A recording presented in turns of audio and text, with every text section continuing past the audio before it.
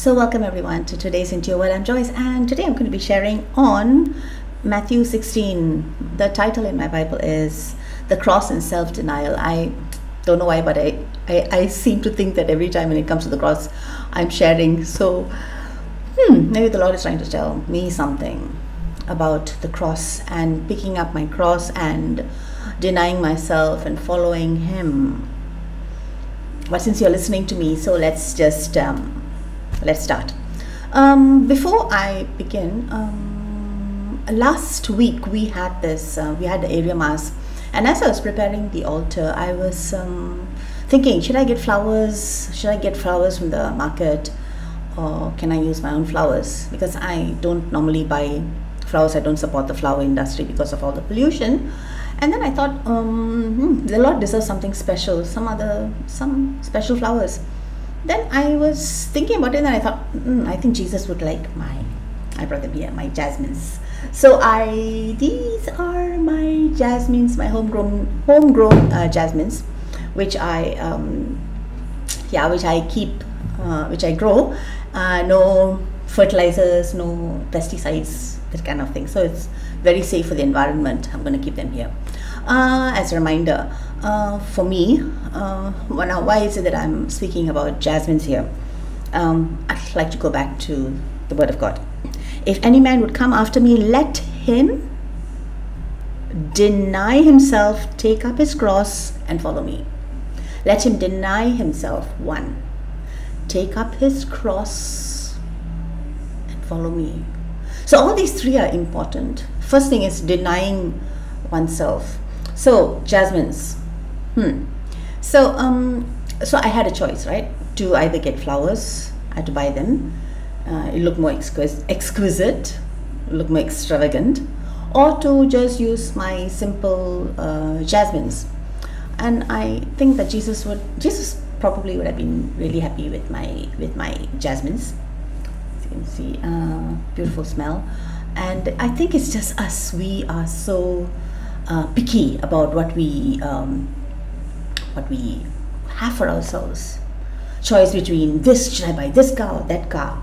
Which one do we choose? Oh, so the first lesson about simplicity, about simplicity of lifestyle. So I speak to myself as well. Simplicity of lifestyle. But of course, it's not just simply hoarding and, oh, I am saving up and then I use that money for myself.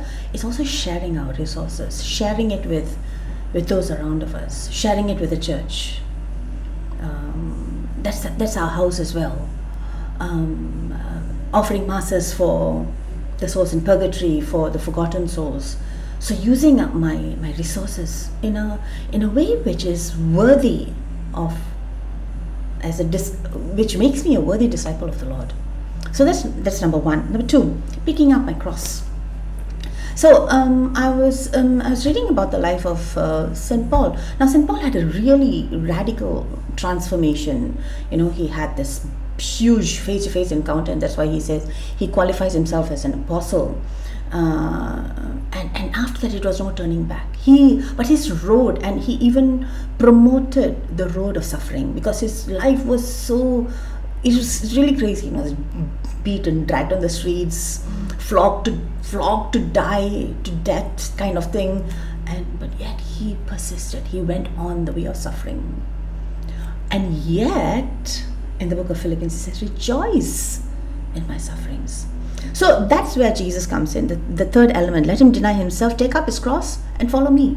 Because if i just take up my cross and if i don't follow jesus i'm going to be this really a sorrowful Christian with this gloomy face. Oh, why so sad? Oh no, this problem, that problem, all so many, so many, so many problems. But if Jesus is with me, with me, I would be rejoicing because I've got the King of Kings, the Lord of Lords in my heart.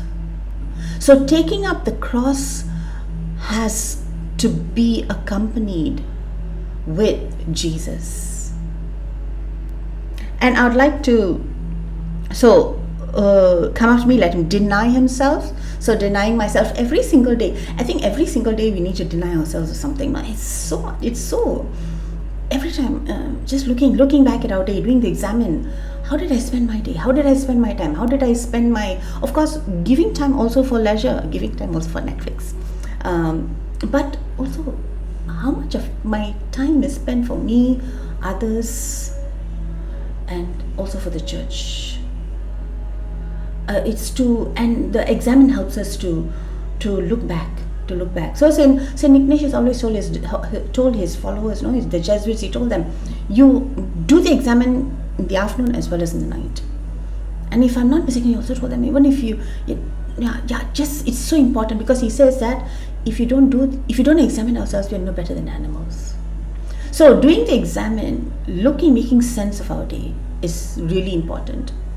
Denying myself, picking up the cross choosing jasmines instead of um, instead of eggs flamboyancy uh, that would be a kind of lifestyle. And i'd like to end with this uh, quote from uh, a prayer uh, of saint nicholas. He says my lord and my god take from me everything that distances me from you I don't know if I can make that prayer, but uh, yeah, take away everything that distances. I'm sure the Lord has many things in mind that he, that in mind for me. Hold on, Lord. Um, my Lord my God, give me everything that brings me closer to you.